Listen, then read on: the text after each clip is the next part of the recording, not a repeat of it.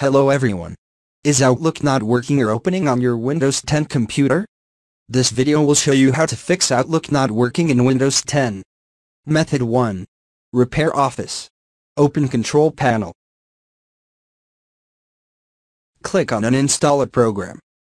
Locate your Office based on your version installed. And right-click on it, and select Change. Choose Quick Repair.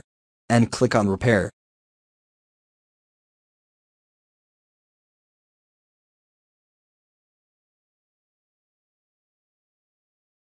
Method 2. Start Outlook in safe mode. Press Windows plus R, then copy and paste this code. And click OK. When Outlook appears in the safe mode, check if it is functioning properly or not. In the Outlook window, go to the File menu. Then, click on Options.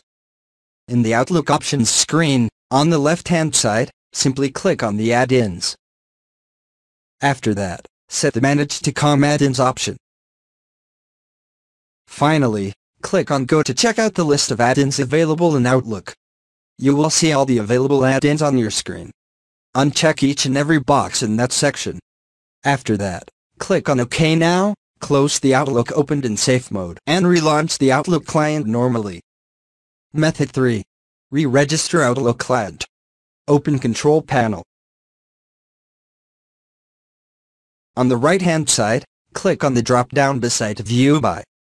Then you have to select the Small Icons option. Now, scroll down, find and then click on Mail Microsoft Outlook to access the existing email setup. Then, you need to select the Outlook profile. After that, click on Remove to omit the account from your computer. Finally, click on Yes to remove your profile. Open Outlook on your computer.